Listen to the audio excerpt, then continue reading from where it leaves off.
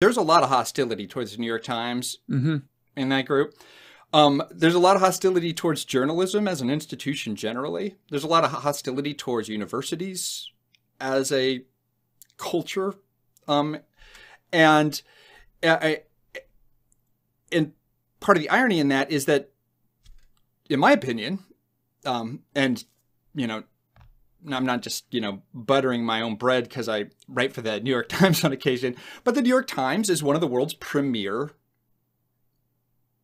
you know, information and knowledge gathering institutions. Mm-hmm. And its culture is profoundly committed to um, not being biased, to objectivity, to checking the facts to make sure that you get them straight, right? Like, and there's no sense whatsoever in which somebody who likes to talk about epistemology on the internet is more committed to kind of rooting out the truth than a real reporter who has to go through a thicket of lies and gaslighting and bullshit and propaganda to get at the story because everybody has an interest in you saying what they want you to say about them right like it's it's journalism's not science because it's got moving targets right people who are making news often don't want to be making news.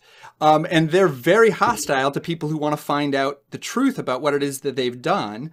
And so they'll threaten you, they'll lie to you, they'll get people they know who you might not suspect will lie to you to lie to you, right? Like, so a lot of reporters, you're constantly, like, the the job is oriented very fundamentally towards facts and truth and you're navigating all of this these crazy obstacles you're going through this maze to try to and and given that fact right like it's it's literally impossible for the the times or the wall street journal news page or whoever to not constantly fuck it up mm-hmm. because the people's interest in lying to you and to spinning their story in a way that's advantageous to them is absolutely overwhelming.